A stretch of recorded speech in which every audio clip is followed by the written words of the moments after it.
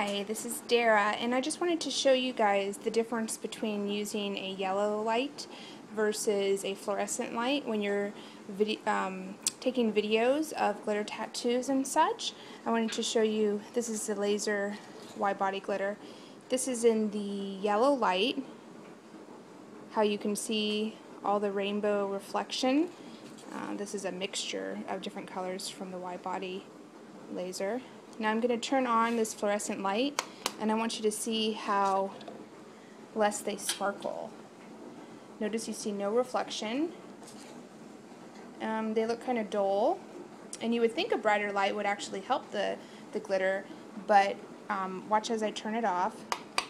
You can just see those rainbow colors pop. So I just wanted to give you guys this tip in case it helps you when you're uh, photographing or taking videos of glitter.